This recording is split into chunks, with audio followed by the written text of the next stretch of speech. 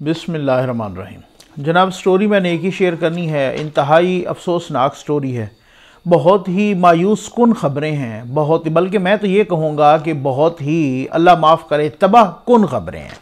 अब क्या कहे बंदा इस पर कोई शुरली छोड़ने वाले तो इस पर जिधर भी इधर उधर चस्का लेते होंगे। लेकिन आप यकीन करेंगे मुझे बहुत अफसोस हुआ। और हमने तो हम तो जब ला कर रहे थे 2007 में, आखिरी साल था उस वक़्त जो भी वकील हमें पढ़ाने के लिए आते थे, उस वक़्त वो कहते कि ये जो बेंच और बार है ना, इसका चोली दामन का साथ होता है। मैं वही सोच रहा हूँ, भाई किधर गई वो चोली, पता नहीं कहीं अल्लाह माफ़ करे, जल सड़ गई और किधर गया वो दामन, पता नहीं क्या को तार तार हो गया और क्या, किस किस तरीके से जो है ना, क्या हो रहा है इस मुल्क के साथ। अब तो हालात ये हैं कि बेंच और बार के दरमियान तो फासला बढ़ ही बढ़ रहा है, बल्कि फासला क्या, सीधा फटा है। और और तो और, वो पहले भी है, पहले भी था, कई दफ़ा हुआ। इस दफ़ा जो सबसे ज़्यादा अफसोसनाक ख़बर और स्टोरी है ना, जो तबाह कन स्टोरी जिसको मैं कह रहा हूँ, जिसको तबाह कन, अल्लाह माफ़ करे ख़बर, वो है कि सुप्रीम कोर्ट ऑफ़ पाकिस्तान, मुल्क की सबसे बड़ी अदालत के जजेस में वाज तकसीम नज़र आ गई है। वो एक ऐसी तकसीम है जनाब, वो पहले जस्टिस काजी फ़ायदीसा साहब के ख़त से भी उसका ये तासर नहीं मिला, बाकायदा तस्दीक हुई है, ठीक है ना? इससे पहले ख़ुद लतीफ़ आफरीदी साहब ने जनाब एक केस के दौरान कहा, पूछा कि ये तासर है, ये ज़बान जदयाम है, ज़बान खल्क पे है कि जजस तकसीम है, ठीक है ना? उसके बाद, उससे, के बाद हमने देखा कि हामिद खान साहब ने क्या कहा कि ये जो मौजूदा चीफ जस्टिस साहब हैं, जस्टिस गुलजार साहब ये इस्टेब्लिशमेंट का सबसे बड़ा मोरा है। अब इससे बड़ी कोई बात हो सकती है। और साथ उन्होंने ये भी कहा फिर मिसालें भी उन्होंने दी। ये मैं बताता हूँ, अब तो हालात ये हैं कि ये जो जुडिशल कमीशन ऑफ़ पाकिस्तान का इजलास हुआ जजेस की एलिवेशन के लिए और जूनियर जजेस को सुप्रीम कोर्ट लाया जा रहा था, एक सीनियर जज ने ये कहा, दूसरे सीनियर जज से कि आप तो सुप्रीम कोर्ट में ये तासर है कि इस्टेब्लिशमेंट के, यानी कंट्रोल टावर के मंजूर नज़र कंट्रोल टावर के चहीते जज लाना चाह रहे हैं। अब इसके बाद कोई बात बच जाती है। इसके बाद तो अब मैं बताता हूँ वो कौन थे और ये सारी स्टोरी क्या है। इससे पहले हामिद खान साहब ने यह भी कहा था, एक तकरीर में, अपनी उसी तकरीर में, जिसमें उन्होंने कहा कि गुलजार साहब, जो जस्ट चीफ जस्टिस गुलजार साहब में ये इस्टेब्लिशमेंट का सबसे बड़ा मोहरा है। और साथ ये भी कहा कि जो आने वाले हैं, अगले उमर अता बंदियाल साहब, वो भी उसी डगर पर चल रहे हैं। क्या इसके बाद भी कोई गुंजाइश रह जाती है? जो खैर से जो है ना, लाला अफरीदी साहब ने कहा, फिर उसके लतीफ़ अफरीदी साहब ने, सुप्रीम कोर्ट बार एसोसिएशन के सदर ने, जो कुछ Sindh high court bar association के जवान सदर ने कहा, क्या उसके बाद भी कोई गुंजाइश बाकी रह जाती है? मामला क्या है? फटा क्या है? रोला क्या है? झगड़ा क्या है? वो ये है कि जी, जूनियर जजेस को सुप्रीम कोर्ट में लाया जा रहा है। इससे पहले जस्टिस मोहम्मद अली मजहर साहब, जो कि पाँचवें नंबर पे थे, उसमें उनको ले आया गया सुप्रीम कोर्ट में। और फिर उसके बाद जनाब फिर जो है ना मतलब वो जस्टिस आयशा मलिक साहबा, उनको लाने की कोशिश की गई, जो कि फ़िलहाल उनका मामला अल्तवा में पड़ गया है। वो भी क्यों? कि चार जजेज़ ने उनके हक़ में और चार जजेज़ ने उनके मुखालफत में। कल इस पर मैंने डिटेल्ड वीडियो की थी, क्योंकि फिर मामला जो है ना, कहीं डिट्रैक्ट ना हो जाए। तो जनाब वो उस हवाले से जिस जिसने और लोग तो अब बता रहे हैं, अब तो बार्स में डिस्कशन हो रही हैं। अब हम वो क्लास से डिस्कस करते हैं तो वो बताते हैं, कहते हैं, नकवी साहब, जब से काजी फायदीसा साहब का केस का फैसला आया, जब से बहुत सारों को मुँह की लगी, उस तरीके से जो है ना उस तरीके से उन्होंने फिर यही कहा है कि जी, अब सुप्रीम कोर्ट में जो जूनियर जजेस हैं, उनको ले आया जाए। और जूनियर तो खैर मैं कह रहा हूँ, उन्होंने कहा कि जो कंट्रोल टावर के चहीते हैं, ये चहीते का लफ्ज़ ही मैं एहतरामन इस्तेमाल कर रहा हूँ, उन्होंने कुछ और लफ्ज़ इस्तेमाल किया। वो मैं यहाँ नहीं इस्तेमाल करना चाहता, मैं अदब का कायल हूँ। तो जनाब, उन्होंने कहा कि जो मंजूर नज़र या जो चहीते हैं तो वो उनको लाया जा रहा है सुप्रीम कोर्ट में ताकि मुस्तबिल का एक ऐसा सिनेरियो बनाया जाए है कि अगर काजी फायदीसा साहब को फारिग नहीं किया जाता या नहीं किया जा सकता तो उनको ऐसा घेरा जाए कि ताकि वो जब 2023 में वो बने चीफ जस्टिस तो उनको इंतहाई मजबूर कर दिया जाए। ऐसे तरीके से बेंचेस बना दिए जाएँ कि वो जिस बेंच को भी चुने, उसी बेंच में ऐसे जूनियर जजेस की और इस्टेब्लिशमेंट के, कंट्रोल टावर के मंजूर नज़र जजों की भरमार हो सुप्रीम कोर्ट में कि उनके पास ऑप्शन ही कोई नहीं। बच जाए, ये वकला कह रहे हैं, मैं नहीं कह रहा, ये सीनियर वकला कह रहे हैं। अब उसके बाद क्या हुआ जनाब? उसके बाद ये हुआ कि अभी जो हुआ यानी कि ये कमीशन का इजलास जुडिशल कमीशन ऑफ़ पाकिस्तान का जो इजलास हुआ, जिसमें जस्टिस आयशा मलिक साहबा को यहाँ पर लाने की कोशिश की जा रही थी और फिर वो नहीं ला सके। उस इजलास में सुप्रीम कोर्ट के जज हैं जनाब जस्टिस मकबूल बाकर साहब। किसको नहीं पता, बहुत ही ज़बरदस्त किस्म की उनकी एक शोहरत है, बहुत ही ज़बरदस्त किस्म के दबंग जज हैं। उन, उन्होंने कहा, जस्टिस मकबूल बाकर साहब ने कि ये तासुर है और उन्होंने बाकायदा इसकी वजह रिपोर्टेडली बहुत सारे लोग अब तो रिपोर्ट कर रहे हैं। अब तो मीडिया में आ रहा है। इसमें कोई ढकी छुपी बात तो रह नहीं गई। उन्होंने कहा, ये तासुर है। अवाम में भी ये तासुर है। ये मीडिया, सोशल मीडिया में भी ये तासुर है। ये जनाब, ये तासुर है एक यानी कि बार्स में भी ये सारी डिस्कशंस हो रही हैं बड़ी ओपन कि ये कि सुप्रीम कोर्ट में प्रो इस्टेब्लिशमेंट जजिस को लाया जा रहा है। यानी कि कंट्रोल टावर के चहीते जजों को सुप्रीम कोर्ट से भरने की कोशिश की जा रही है। तो फिर जस्टिस ये किन से कहा? ये जस्टिस मकबूल बाकिर साहब ने कहा जस्टिस उमर अता बंदियाल साहब से, जो कि आने वाले चीफ जस्टिस हैं। ठीक है ना? इनके बाद, यानी जस्टिस चीफ जस्टिस गुलजार साहब के बाद वो चीफ जस्टिस बनेंगे। अगले चीफ जस्टिस हैं। तो उन्होंने कहा मकबूल बाकर साहब ने भी। अच्छा इसी तरह से बहुत सारे औरों ने भी कहा कि जी, एक क्राइटेरिया तय कर लेते हैं। एक कोई क्राइटेरिया तो बना लेना कि ये इस तरीके से तो ये जो जा रही है कि जनाब वो हम एक जूनियर जज को ला रहे हैं, कोई क्राइटेरिया नहीं है। बल्कि यहाँ पर सुप्रीम कोर्ट के फैसले गवाह हैं और उन फैसलों का रेफरेंस मैंने पिछली दफ़ा भी वीडियो में दिया। कहते हैं, ये फैसले गवाह हैं सुप्रीम कोर्ट के कि जूनियर जज को यहाँ पर जो है ना नहीं लाया जाएगा। अब उसके बाद मैं हैरान हूँ कि भाई, वो जनाब अटानी जनरल साहब भी और बाकी भी कह रहे हैं कि, जनाब, पहले भी इस तरह से हो भाई, अगर पहले किसी ने मुबैना तौर पर गंद किया है तो उस गंद को अभी रोकना है या इस गंद को फॉरएवर चलाना है? कहीं पर तो वो नुकता फुल स्टॉप आएगा या नहीं आएगा? हम इसी तरह से चलते रहेंगे। ये मैं अदब के साथ कहूँगा। तो अब उसके बाद जनाब वो अपना सीनियर जज, जनाब जस्टिस मकबूल बाकर साहब ने कहा कि ये तासुर है कि आप इस तरीके से ला रहे हैं।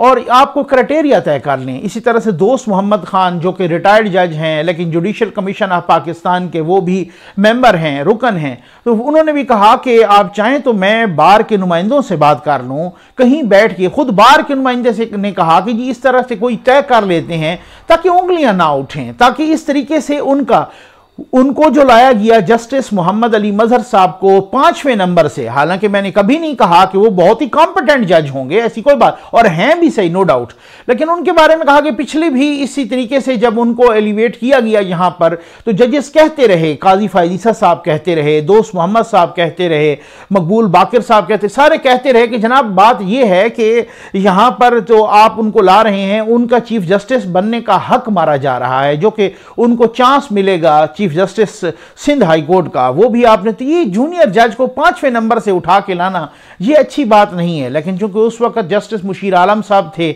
अब जैसे ही जस्टिस मुशीर आलम साहब रिटायर हुए तो उनकी जगह पे जस्टिस तारिक मसूद साहब आ गए। और जस्टिस तारिक मसूद साहब जैसे ही आए तो फिर उन्होंने यहाँ वोट डाल दिया। ठीक हो गया ना? काजी फायजीसा साहब तो थे नहीं, चार चार बराबर आ गए। लेकिन अगर काजी फायजीसा साहब होते भी सही तो फिर भी पाँच चार के हवाले से फिर भी जस्टिस आयशा मलिक साहबा को रिजेक्ट कर देना था। ठीक है, फिर भी हो जाती। लेकिन अब मामला ये है कि उन्होंने कहा कि फिर जब ये इन्होंने कहा कि हम सबसे बात करते हैं तो जस्टिस उमर अताब बंदियाल साहब ने कहा कि नहीं जी, तय होगा तो आज ही क्राइटेरिया तय होगा। तो मैं समझता हूँ कि मुबैना तौर पर बादियों नज़र में ये जिद क्यों है? क्या वजूहत हैं? बहुत सारा और साथ उन्होंने ये भी साथ कह दिया उनको मुखातिब करके जस्टिस मकबूल बाकर साहब को मुखातिब करके कि फिर और बाकी भी मेम्बरान को कि जो वोट नहीं दे रहे थे जस्टिस जन, जनाब आयशा मलिक साहबा के हक में उनको कहा कि फिर तारीख आपको ये लिखेगी कि आप लोगों ने एक खातून जज को सुप्रीम कोर्ट नहीं आने दिया। ये अब आप अंदाज़ा कीजिए कि हम कहते हैं कि ये जो औरत कार्ड है, ये सिर्फ़ सोशल मीडिया पे या सिर्फ़ सियासी नहीं खेलते, बल्कि बाद यूँ नज़र में ये जज भी खेलते हैं। ठीक है ना? ये औरत कार्ड हो, कहीं हो सकता है, मज़हब कार्ड हो हो सकता है। मैं इसी वजह से कह रहा हूँ, ये बाद नज़र में, जैसे सुप्रीम कोर्ट कहती है ना, मुबैना तौर पर बाद नज़र में ये जजेस भी औरत कार्ड खेलते हुए नज़र आते हैं। और यहाँ पर भी मुझे वही हुआ कि उन्होंने औरत कार्ड मुबैना तौर पर खेला। अच्छा फिर उसके बाद जनाब ये क्यों है? आखिर क्या वजह क्या है? जैसे इलेक्ट्रॉनिक वोटिंग के पीछे पूरी पीटीआई, उन्होंने ज़िंदगी और मौत का सवाल बना लिया, है ना? यहाँ भी लगता है कि जूनियर जजेस को लाने का यही को बादियों नज़र में, यही को ज़िंदगी और मौत का सवाल हो गया है। उसकी वजह यह है कि बहुत सारे वकला ये बता रहे हैं कि भाई तासर ये है कि उनके दौर में कोई पाँच छः जजेस जो है ना कोई रिटायर हो रहे हैं, खुद चीफ जस्टिस साहब रिटायर हो रहे हैं, खैर, वो उनकी जगह तो वो बन जाएँगे, खुद उमरता बंदियाल साहब। इसी तरह से जस्टिस मकबूल बाकर साहब भी रिटायर हो रहे हैं जस्टिस सजाद अली शाह साहब भी रिटायर हो रहे हैं जस्टिस मियाँ खेल साहब भी रिटायर हो रहे हैं, ठीक हो गया ना? और उसके बाद जनाब जस्टिस काजी मोहम्मद अमीन साहब भी रिटायर हो रहे हैं। तो ये चार पाँच जजेस जो रिटायर हो रहे हैं जनाब जस्टिस उमर अता बंदियाल साहब के ज़माने में, और ये तकरीबन कोई अगले साल के आखिर तक ये चार पाँच जजेस रिटायर होने हैं। अब वो अगर क्राइटेरिया बना दें तो फिर उसके बाद वो वकला कहते हैं कि मुबैना तौर पर फिर वो ये मनमानी नहीं कर पाएँगे। फिर वो उस क्राइटेरिया के तहत लाना है। फिर उन्होंने चूँकि मुबैना तौर पे जो कसम खाई है, वकला के मुताबिक जो बादियों नज़र में जो उन, उन्होंने कसम खाई है तो वो कह रहे हैं कि इस वजह से कि जनाब उन्होंने जूनियर जजेस को वही बादियों नज़र में कंट्रोल टावर के चहीते जजेस को भरना है सुप्रीम कोर्ट में। ये लोग कह रहे हैं, ये बार्स कह रही हैं, मुख्तलिफ़, हमारे मुख्तलिफ़ वकला से बात होती है। ये बार्स आप यकीन करें कि नीचे तक ये तासर है। आप पिंडी में चले जाएँ, आप इस्लामाबाद में चले जाएँ, आप पिशावर में चले जाएँ, आप कराची में चले एक तो होता है ना सुप्रीम कोर्ट बार एसोसिएशन या पाकिस्तान बार काउंसिल या मिसाल के तौर पे सिंध बार एसोसिएशन, ठीक है, Sindh high court bar association या बाकी हाई कोर्ट्स की बार एसोसिएशन। नहीं, ये नीचे डिस्ट्रिक्ट लेवल पे भी ये तासर है कि इस तरीके से, और वो क्राइटेरिया क्यों नहीं तय होने दे रहे इस वजह से कि फिर उसके बाद कहा जा रहा है कि फिर वो मर्ज़ी के बेंचेस बनाएँगे। फिर यह भी कहा जा रहा है, बहुत सारे लोग कह रहे हैं बादियों नज़र में मुबैना तौर पे कि किस तरीके से काजी फायद ईसा साहब के ख़िलाफ़ जनाब वो जो है ना, घेरा तंग करना है। किस तरीके से फिर वो जिस, जैसे ही उन बादियों नज़र में ये जूनियर जजेस को या इस्टबलिशमेंट के मंजूर नज़र मंजूर नज़र जजेस को लाना है, ताकि उसमें कोई रुकावट ना पैदा हो। अब तो बहुत सारे लोग बता रहे हैं, यकीन करें, ज़राए हमसे बात करते हैं तो कहते हैं कि ये जो फ़रूग फ़रोग नसीम साहब हैं, वो तो खैर किसी और उनको अल्फाज में याद करते हैं, मैं वो नहीं करूँगा। तो वो कहते हैं कि जनाब फ़रोग नसीम साहब आज भी जहाँ मुख्तलिफ़ जगहों पर बैठते हैं तो उनका एक ही मतम नज़र है और उन्होंने किसी को वादा दिया हुआ है कि देख लेना मैं किस तरीके से काजी फायज को आपको मुबैना तौर पर फारग करवा के दिखाता हूँ। ये उनका। आज क्यों ये तासुर है? अल्लाह माफ़ करे, मेरे मुँह में खाक। आज क्यों ये तासुर है कि कुछ कुतें काजी फायदीसा साहब को नहीं बनने देंगी? चीफ जस्टिस, भले अल्लाह माफ़ करे, मेरे मुँह में खाक, मुबैना तौर पे चाहे उनको किल भी करना पड़े। क्यों ये तासुर है? क्यों ये अवाम कह रहे हैं? क्यों ये सोशल मीडिया पे कह ये क्या तबाह कन सूरत हाल नहीं है? जब कोई अच्छा फिर बात ये होती है ना कि वो वही वाली बात है कि हम तो कहते हैं ना कि जी, बाबा रहमता, तारीख में एक स्याह लफ्ज़ों में लिखा जाएगा। भाई, ये स्याह लफ्ज़ जो होते हैं ना, और ये जो सारा कुछ लान तान होती है तो ये उनको अफेक्ट करती है कि जो इसको सीरियस लेते हैं, जो इसको संजीदा लेते हैं। जो संजीदा नहीं लेते, उनके लिए लान तान उनके लिए ये स्याह अल्फाज, उनके लिए ये तनकीदी अल्फाज, उनके लिए ये ये ये वाली सूरत हाल एक बड़ा आपने देखा कि लोगों ने बाबा रहमता साहब भी जो है ना, आज भी वो मज़े कर रहे हैं। रिटायर लाइफ में मज़े, उनको रिटायर लाइफ में भी बड़े मज़े मिल रहे हैं। जनाब बाब रहमते को, और बाब रहमते से कोई पूछ गछ नहीं हुई। किस तरीके से उन्होंने जनाब बाहर जाके फंड जो है ना, डैम के जमा किए, और किस तरीके से उनसे किसी किस्म की कोई पूछ गछ नहीं। और फिर सोने पे सुहागा ऊपर से तीन तीन प्लाट भी लोगों को मिल जाएँ, खुद जजेस को तीन तीन प्लाट मिल जाएँ तो फिर आप खुद मुझे बताएँ कि फिर कौन सी ऐसी वो है जब इतनी ही एक लक्रटिव एक इस किस्म की जो है ना, पुरकशिश किस्म की लाइफ हो, पूछने वाला कोई हो नहीं, किसी किस्म का कोई ऐसों के ख़िलाफ़ कोई मुबैना तौर पर कोई रेफरेंस भी ना आए रेफरेंस आए तो सुने कोई नहीं। तो फिर इसका मतलब ये है कि कौन उसको वो कहेगा सारे एक अपना पीछे नज़र दौड़ाएँगे, उनका किसी ने क्या कर लिया? अब ये तीन तीन प्लाट कोई समझ में आने वाली बात है कि जिन जिन को तीन तीन प्लाट मिले, गरीबों के प्लाटों पे पता नहीं कोई चढ़ जाता है। रोज़ मुझे कोई ना कोई कॉल आती है कि जनाब वो फलां बेवा है जो कि यहाँ पर उसने अपनी पूरी ये मैं मैं मेंशन करूँगा। उन्होंने अपनी जो है ना पूरी सरमाया लगा दिया और उनके प्लाट पर कोई चढ़ गया और वो बाहर बैठी हैं जनाब और उनके प्लाट पर कोई चढ़ गया। उनके प्लाट तो कोई नहीं छोड़वाता यहाँ पर तीन तीन प्लाट मिल रहे हैं। तो ये नुकसान किसका हो रहा है? भाई, ये नुकसान मुल्क का हो रहा है। ये नुकसान सुप्रीम कोर्ट जैसे इदारे का हो रहा है। ये नुकसान कौम का हो रहा है। अब देखें ना, जैसे जस्टिस दोस्त मोहम्मद खान साहब, जो कि रिटायर्ड जज हैं और वो जुडिशल कमीशन ऑफ़ पाकिस्तान के वो मेंबर भी हैं, अब वो भी रिटायर हो, उनके दो दो साल के लिए आते हैं ना तो वो दो साल के लिए जुडिशल कमीशन ऑफ़ उनका गालिबा कोई नवंबर या दिसंबर में पूरा हो रहा है टाइम अब उसके बाद जनाब नवंबर या दिसंबर में हो तो फिर उसके बाद कौन चीफ जस्टिस साहब होंगे? उमर अताब बंदियाल साहब उस वक्त होंगे। तो उमर अताब बंदियाल साहब कौन से रिटायर्ड जज को लाएँगे? फिर आपको पता है एक सारा। मैं मैंने कहा ना कि मुझे कभी भी उनकी कॉम्पिटेंसी पे नहीं शक। लेकिन आप यकीन करें कि इंतहाई ज़्यादती की है उन लोगों ने मुबैना तौर पर जस्टिस मोहम्मद अली मजहर साहब के साथ कि जिनको जिस तरीके से एलिवेट किया अब ये एक आम तासर जबान सत आम हो गई है, आप लोगों की जबान किन के पकड़ सकते हैं? एक आम तासर हुआ है कि जिस बेंच का भी वो हिस्सा होते हैं, आप यकीन करें, खुदा गवाह है कि उसके बारे हम हम देखते हैं, हम सुनते हैं। हम मीडिया में भी, सोशल मीडिया में भी, यहाँ वकला में भी, बार्स में भी, उसके बारे में कभी से तासर बना के जनाब इनका क्या फै, भले वो बहुत अच्छा फैसला करें, वो मैं ये नहीं कह रहा, आप यकीन करें, बहुत मेरिट पे करें, लेकिन इब्तदाई तासर ये बनता है कि जनाब इन्होंने मुबैना तौर पर इन्होंने बादियों नज़र में वही फैसला करना है जो कंट्रोल टावर को खुश होगा, खुश करेगा। अब आप अंदाज़ा करें कि ऐसे बंदे को आपने इस तरीके से जूनियर जज को उठा के जब एलिवेट किया, आपने किन का नुकसान किया? आपने उनका जाति नुकसान भी किया।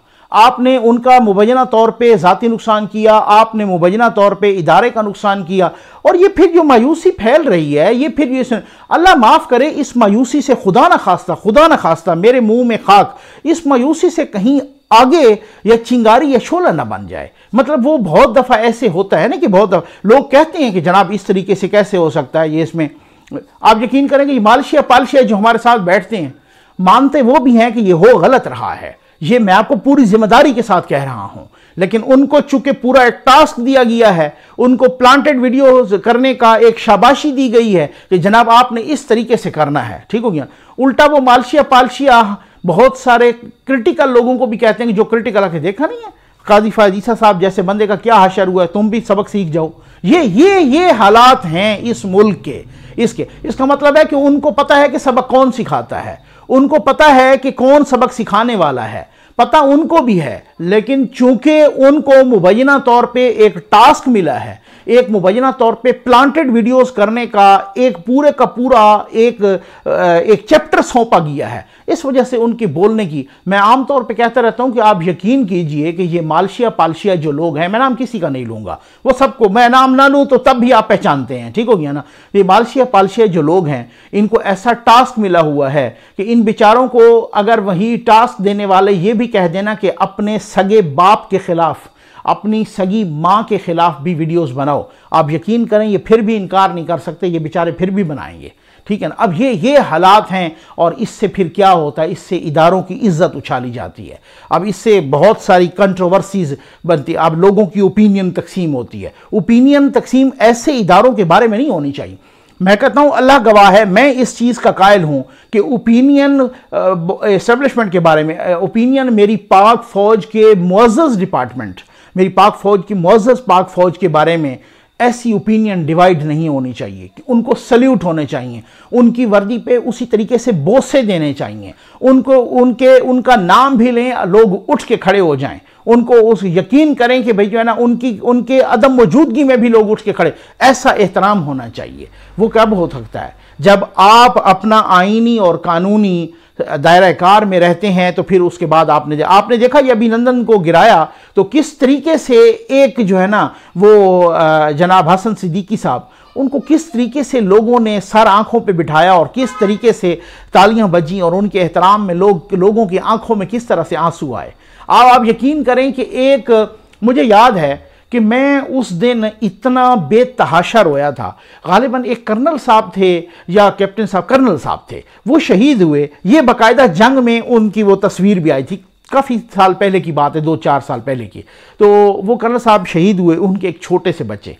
वो जब उनको, उनका जनाजा उठाया जा रहा था, उस छोटे से बच्चे, वो हार पहनाए हुए थे। उस मासूम से बच्चे ने अपने वालिद की वो टोपी पहन के ना अपने वालिद को आखिरी सल्यूट किया था। आप यकीन करें, वो सल्यूट मुझे अब तक याद है, मुझे सोते हुए भी याद आता है ना तो मैं इस तरीके से धाड़े मार मार के रोता हूँ। अब ये ये है उस इज़्ज़त का ग्राफ। ठीक हो गया ना? और फिर ऐसी इज़्ज़त को जो दागदार करने की कोशिश करे तो मैं समझता हूँ कि मैं मैं मैं उन पे क्रिटिक ज़रूर करूँगा। ठीक हो गया ना? अब इसी तरीके से यहाँ पर मैं एक पाकिस्तानी होते हुए, मैं एक मुसलमान होते हुए, ठीक हो गया ना? मैं राणा भगवान दास साहब को तो सलाम करता हूँ। ठीक हो गया? ये क्या है? क्या वो वो, हिंदू थे ना ठीक है ना? लेकिन उनको भी मैं सलाम करता हूँ। इस इस बहुत बहुत सारी बहुत बहुत सारे और मैं मिसालें दे सकता हूँ इसमें वक्त नहीं है। उनको मैं सलाम करता हूँ। ठीक हो गया ना? जस्टिस कार्नेलियस को मैं सलाम करता हूँ। ठीक हो गया ना? बहुत सारे और भी हैं। बहुत सारे कोई काजी फायजीसा साहब किसी का कोई रिश्तेदार नहीं लगता। उनको लोग क्यों सलाम कर रहे हैं? किस लिए? बहुत सारी वजूहत हो सकती है ना। और बहुत सारी ये बहरल कुछ भी हो, इस पर डिबेट होती है। खुदा के लिए बेंच और बार दोनों बैठे। खुदा के लिए ये पूरा का पूरा सिस्फ खुदा के लिए फ़रोग नसीम जैसे मुबैना तौर पे मालशिया और पालशिया को फ़रोग नसीम साहब जैसे जिन्होंने एम के एम का बेड़ा सत्यानाश किया। फ़रूख सतार साहब के इंटरव्यूज़ मौजूद हैं, जिन्होंने अपनी पार्टी का सत्यानाश किया। जिनकी पार्टी आज भी कहती है कि ये हमारे नुमाइंदे नहीं हैं। इनकी वजारत तो हमने मांगी नहीं थी। आप ये अपना खालिद मकबूल साहब का इंटरव्यू मौजूद है।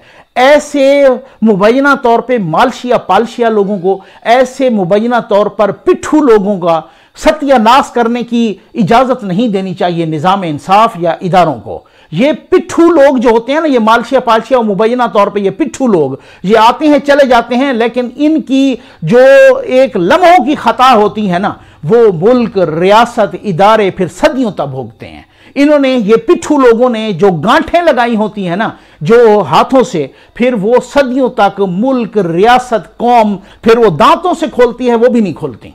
उम्मीद है आपको वीडियो पसंद आई होगी। आपका बहुत बहुत शुक्रिया।